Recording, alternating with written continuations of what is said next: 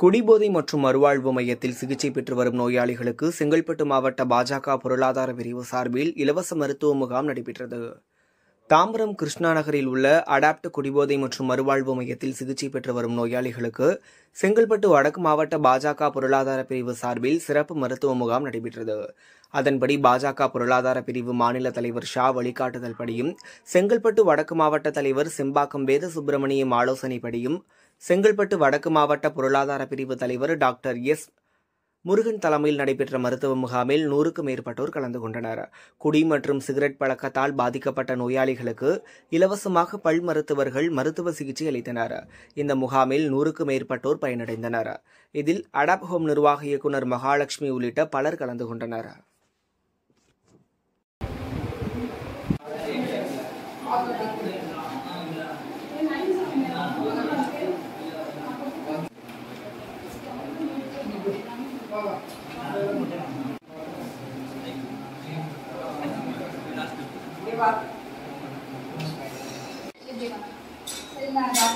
மறந்துடக்கூடாது